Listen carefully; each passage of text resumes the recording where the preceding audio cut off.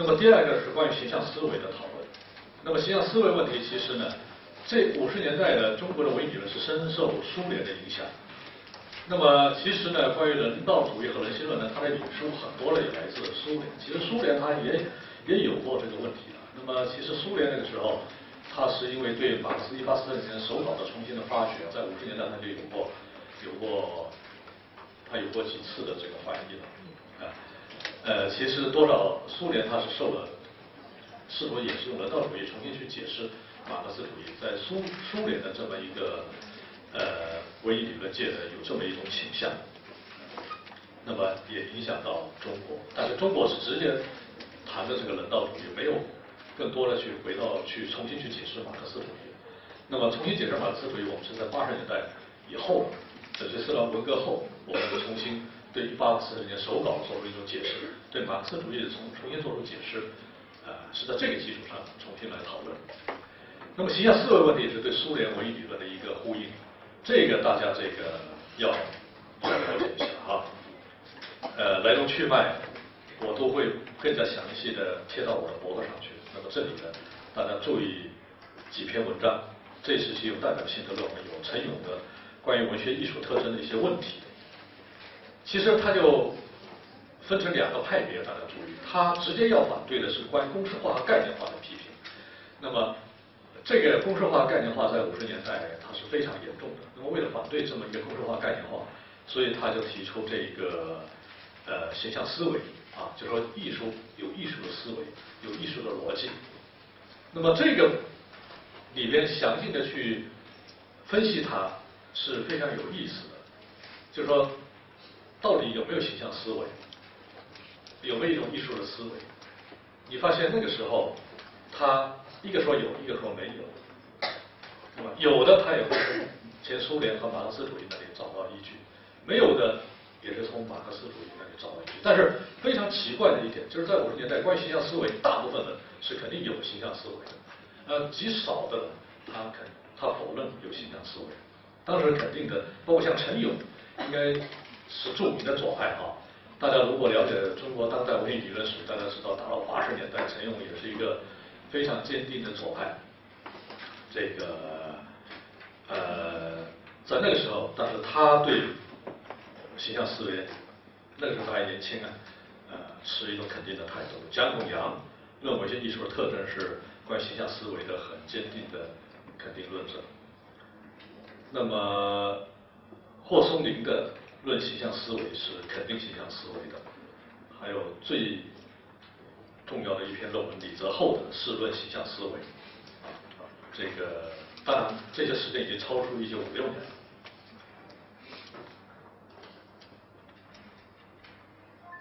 那么当然肯定和否定呢，他们都有不同的方式。这个不同的方式在于，就是说毛新对形象思维的态度呢，他是呃。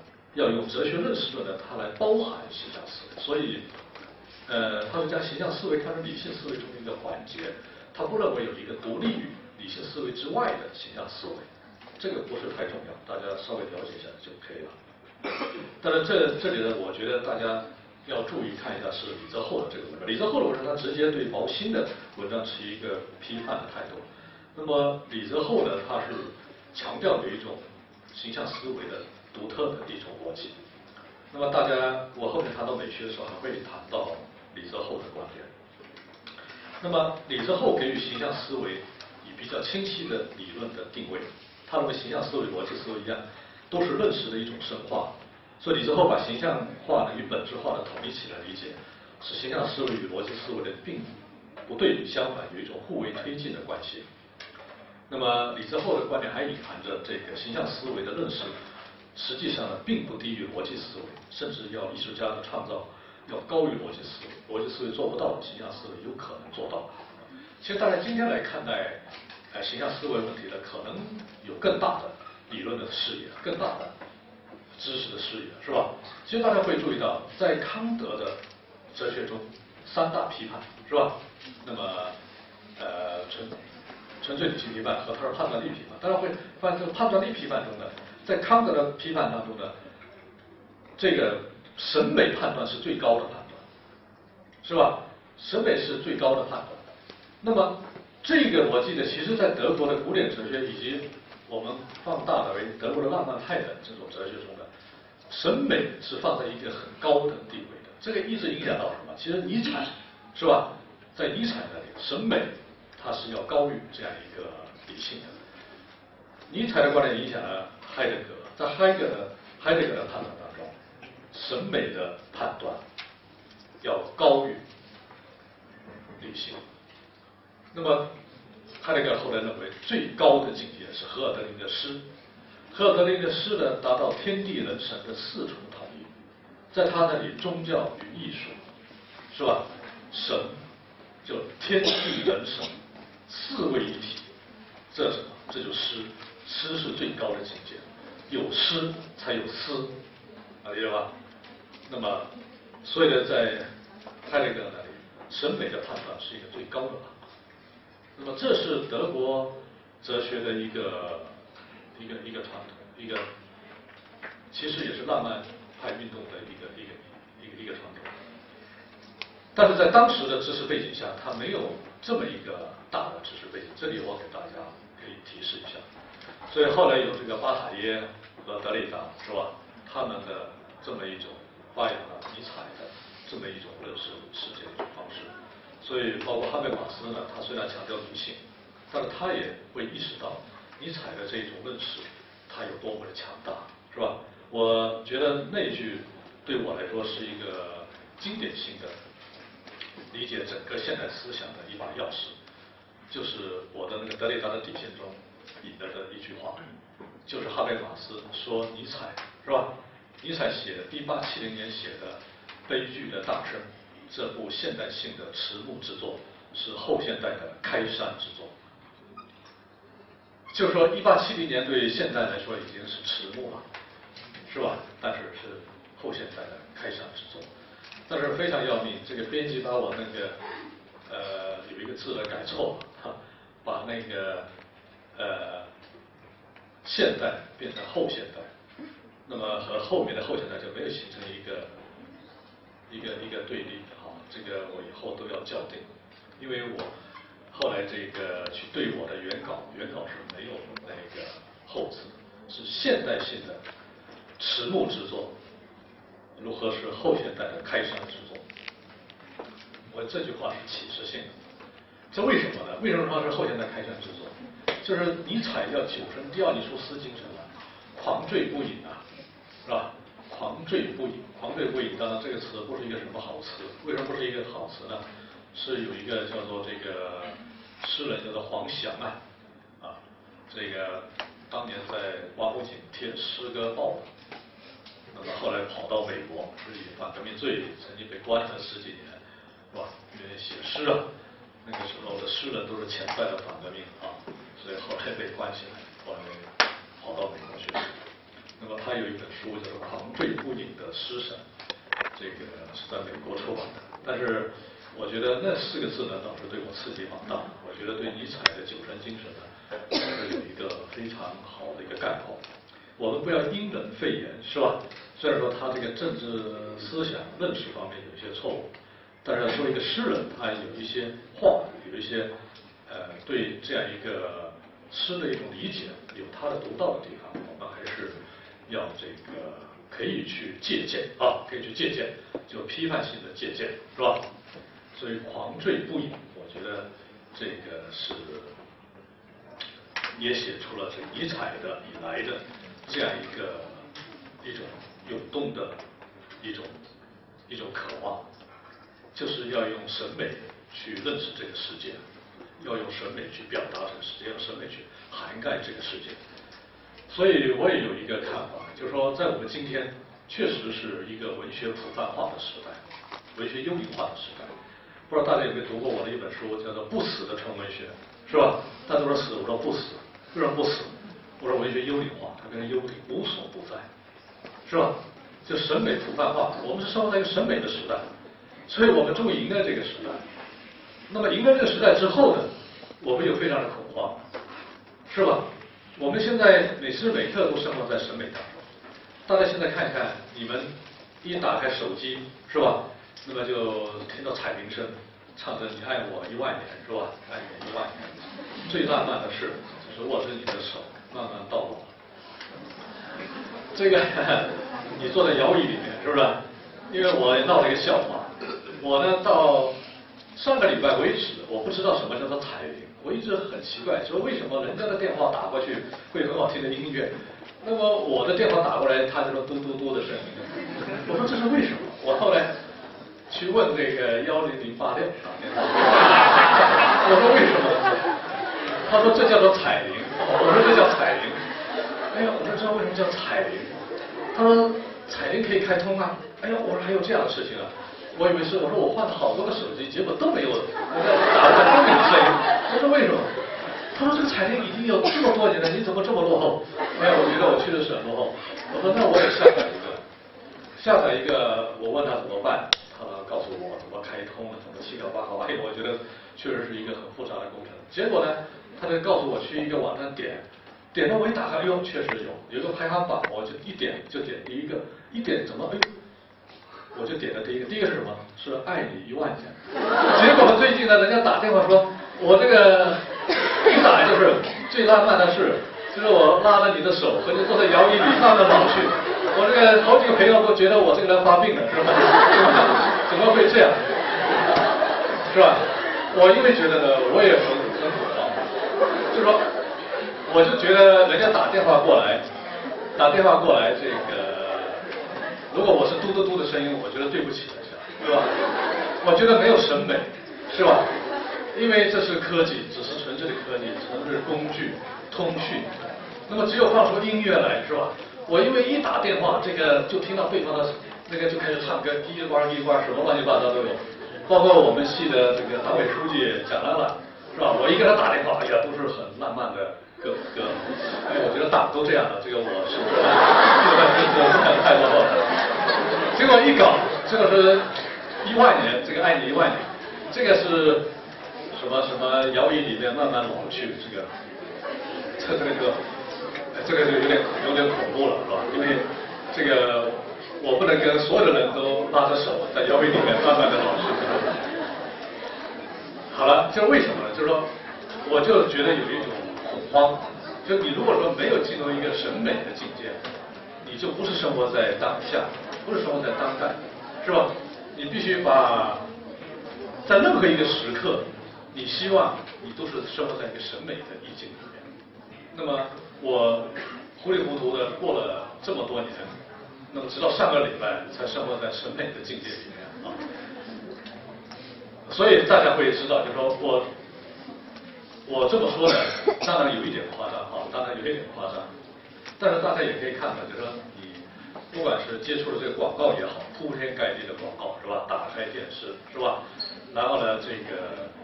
呃，逢年过节，我们的祝福是吧，都是文学性非常强的语言，是吧？因为那个大家都知道，那些语言都是今夜月明星稀，是吧？你我这个相思无限等等，因为都是这么好的段子，你发过去也没有关系，对吧？都很肉麻，都很充满了爱意，充满了这种感情的交流。那么思真思假，所以你发现就是现在这种文学语言呢，它随着这种通讯的这种发展和传播呢。它是普遍化，是吧？那么我们那种语言也都越来越、越来越这种丰富，越来越有修辞性。很多年，大家会发现，我们看电视、看电影，和我们日常生活差距非常大，是吧？你看西方的电影和电视，你觉得，哎，他们很真实，他们说什么那种浪漫的话，什么送一支玫瑰啊，然后这个说一句这个，哎，你好啊，这个。呃早上好啊，下午好啊，这个我爱你吧，你爱我啊，我们都觉得很自然。那么在中国呢，你觉得这非常奇怪，是吧？中国非常奇怪，中国人问你吃了吗，是吧？那个袜子你穿了没有，是吧？这围巾你戴上了没有？他是说这这。他和电影的语言，就是艺术的语言和他日常的语言，它差距会非常大。但是今天我们看我们的电影和电视，好像前一段你们什么这个又在看那个什么流星雷阵雨是吧？雷阵雨对对对，雷阵雨是，因为我儿子也在看，我也就看了一眼，我觉得那些语言都非常非常夸张啊。但是你们现在觉得非常的自然，非常的自然，它叫雷星是吧？雷导，雷导。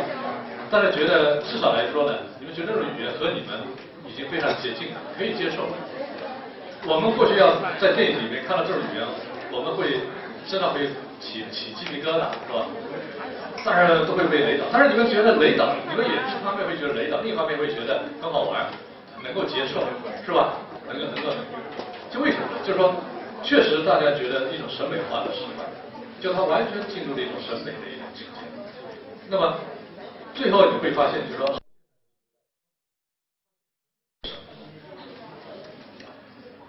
现在我们是要意义、要价值、要正确。现在人家讲的话呢，你不在乎它正确不正确，首先要好玩，是吧？你讲的话不好玩，这个就不行，是吧？它要好玩，那么要有快感，是吧？要娱乐，所以就说娱乐至死。是吧？这个尼尔波茨曼大家知道，这个娱乐至死，是吧？当然那个话说的有点恐怖，娱乐也不一定要死，是吧？就是，这为什么？就是说这这是一个，其实是蛮困扰我们的一个问题。就是尼采，他虽然说他的那种是尼采的思想，当然非常非常复杂，非常非常复杂。就是一方面是酒神狄奥尼索斯的精神，审美。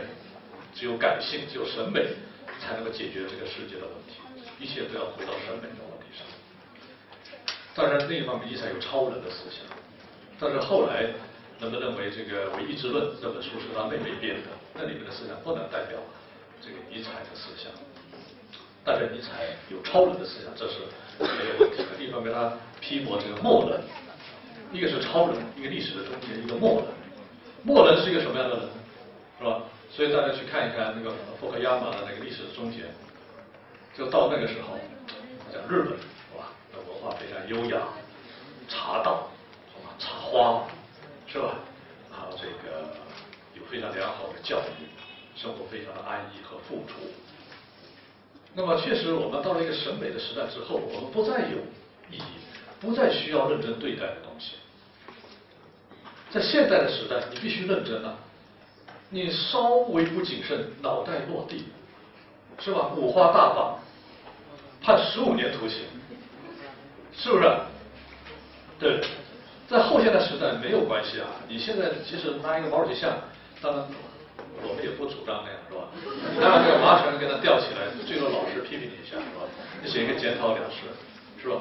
在过去，你这样掉脑袋的，老兄，这不是开玩笑，是不是？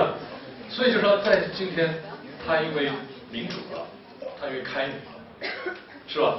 那么大家的生活的道路非常宽广，大爱人，人民爱党，是吧？给大家非常大的这种生活的余地，就是使你经常就就很把什么东西你都可以变成娱乐，你就不那么认真，不那么较真了。谁说什么你不那么较真，所以它没有一种意义的绝对值。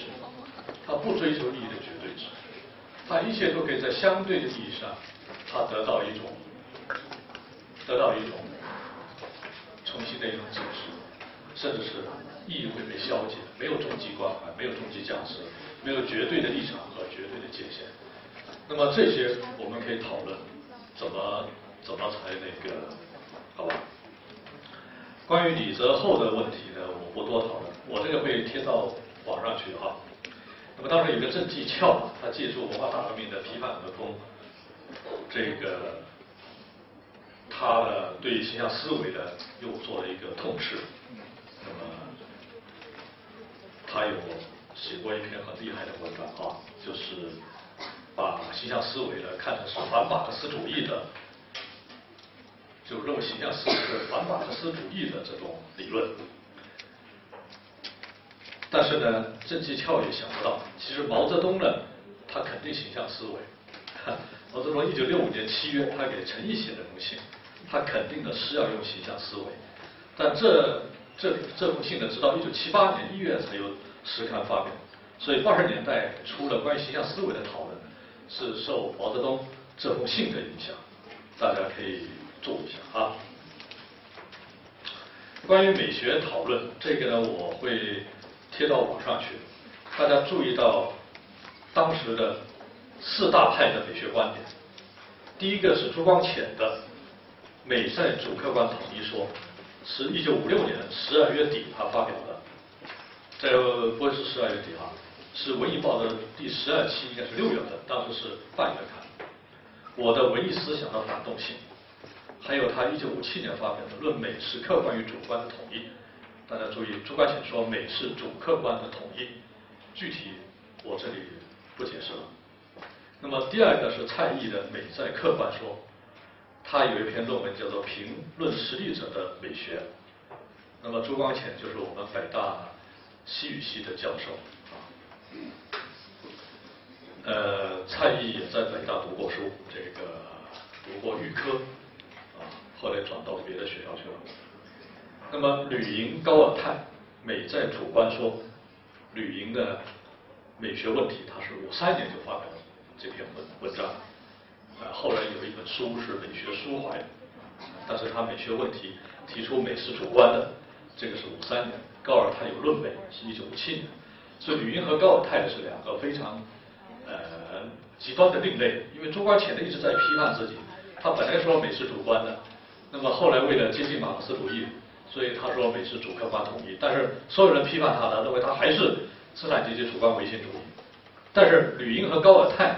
这两个人呢，这个，居然这个明目张胆的主张美是主观的。那么吕莹呢，这个这个人呢也是非常有有个性。那么我举一个例子，一九五五年，当时七月份的时候开过一次作协的代表大会，就宣布当时周扬就呃郭沫若宣布这个这个胡风已经是反革命集团了。吕莹当时跑到那个主席台上去，坐在郭沫若和周扬的中间。他说：“胡风不能说是反革命集团，他只是唯一的认识问题。”他话还没有说完，下面人就高呼：“打倒这个吕莹，打倒反革吕莹！”吕莹当时就被压下去了。就在那个时候，大家想一想，一九五五年那一场会，当时有七百多人，所有人都鼓掌，所有人都举手。赞成把胡风打成反革命集团，是吧？都高呼这个口号，打倒胡风。那么只有吕莹跳到他主席台上去为胡风辩护。那么这样的人在当时，你想想，他知道这个后果啊，所以他马上被软禁起来。而且他跟胡风关系密切，他一九三七年就认识胡风，从那之后跟胡风非常关系很密，经常跑胡风家里去。但是非常奇怪一点，就胡风反革命集团里面居然没有吕莹的名字。本来没有他的名字也就罢了，是吧？人家都避之唯恐不及，他还要跑到台上去为他辩护，所以主张美是主观的这样的人都是非常非常了不起的。那么这个高尔泰呢，也主张美是主观说。高尔泰呢，这个原来在甘肃的一个高中呢教美术，那么五十年代他其实也是很年轻的二十几岁写的这个论美，他主张美是主观的。他觉得这个，因为他画画也画得很好。那么高尔泰呢，后来也打成右派。高尔泰打成右派。高尔泰呢，八十年代他有一本书叫《论美》，认为美是自由的。那么我们在八十年代非常的崇拜他。高尔泰呢，这个不知道为什么，就李泽厚对高尔泰呢非常不以为然。那么不断的。我对李泽厚先生是非常非常的尊敬啊，但是对他对高尔泰的那么一个态度和评价上呢，这一直让我感到感到难以难以认同，难以认同。我觉得高尔泰呢是一个非常有骨气的知识分子，非常有人格的。但是呢，我不知道这个是因为什么原因，是不是有更具体的原因，我不知道。但是高尔泰曾经借用在那个中国社会科学院哲学研究所，借用了好几年的时间，是不是因为在那里他们有接下一些什么问题？那么高尔泰后来把这个当时哲学所的美学教养师主任陈一啊，陈一先生，这是我们的老前辈了，呃，把他的女儿啊，当时比他小了二十几岁，啊，和他这个产生了这个革命的友谊，是不是？你知道因为这个缘故对他有看法？我不知道，我还不知道，但是我我想象不出会有别的问题啊。呃，可能可能这个学术学术可能还是学术的见解，这些这些不知道。高老太在八十年代其实耳朵已经聋了，耳朵每一次开会的，你会发现有一个人端一把凳子坐在这个讲台旁边，他要竖着耳朵在凑近你来听，就比如说这样开大会，他要端一把凳子坐到讲主席台上来，他要来听，因为他耳朵已经聋了。后来这个一九八九他被关起来，在南京大学作为反革命煽动罪，呃，他被关起来，关起来关了一两年，后来才放出去。那么九二年或者九三年跑到香港，从香港跑到美国，现在在美国。那么他写了，当时在九四年、九五年以后呢，在今天上连载《寻找家园》。我觉得大家有机会可以看看《寻找家园》。《寻找家园》好像花城出版社有出出这个书，但是是被删节了，应该被删节了不少。我想，呃，我读了那个那个散文，我觉得是中国。二十世纪最好的散文，我觉得我把它推为最好的散文作品《寻找家园》。我那个时候是在德国读的，德国读我是读那个今天一九九九五年、九六年在德国读过那个那个《寻找家园》，我当时确实读得我热泪盈眶，我读得非常感动。但是大陆版本我没有见过，因为我觉得一直追踪着读他那个书，我我我我当时印象冲击非常大。我觉得高尔泰写出了一代知识分子的那种遭遇，也写出了他对家乡的那种记忆。我觉得那个文章是写的非常好，我推为二十世纪，至少来说，我我可能这样说有点有点有点太过分，我觉得是最好的、最重要的几本散文著作之一。